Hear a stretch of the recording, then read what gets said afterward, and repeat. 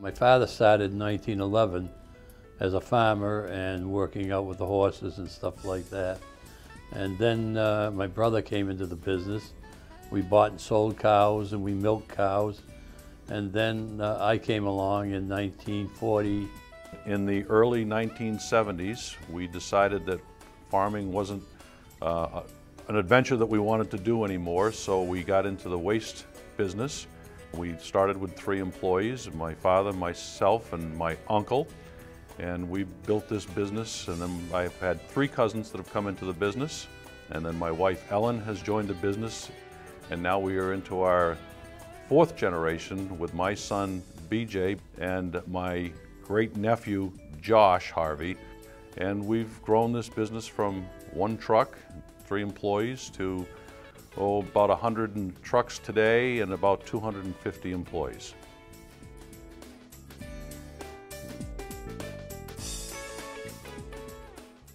Well, it's the pride, strictly pride of my, my family, my brother's family. And uh, yes, we have arguments or whatever you do, discussions we call them.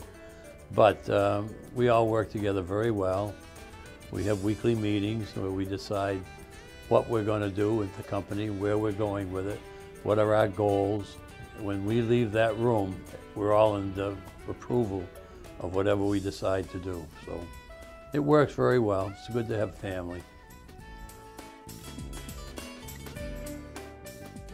My father was a staunch worker and taught us those traits which we pass down onto our children and I hope they pass down to their children that uh, hard work will do it every time. What they say is there's no free lunch. I was taught hard work. Uh, I was taught um, uh, perseverance, uh, all of those wonderful traits that they taught me, plus the sharing of their knowledge. We are fortunate as a family business to have had the knowledge of the previous generation, one of the members, Jim Harvey, that's still with us today, to, to continue to share his knowledge and his wisdom with us on a day-to-day -day basis. We're very fortunate in having that. One of the things that we try to offer our employees as a small family-run business is respect. We respect all of our employees. We show our appreciation and we are appreciative of what they, they bring to the table every day. We get the same respect back from our employees as, as we tend to give them.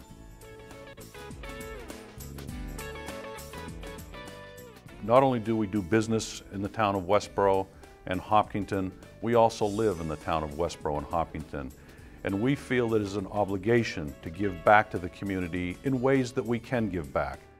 We do a lot with the uh, food bank. Abby's House is one of the ones we collect money for. Toys for Tots. We're very active in giving donations to the Boy Scouts. I was awarded the uh, Good Scout Award um, about two or three years ago. start in and do it. That's all I can tell you. This, this all didn't fall from the sky. It was something that we built up from one building to the next building and uh, one customer to two customers. And now we're up around 5,000 customers. And uh, that's, that's what you got to do. You got to work and you got to love it.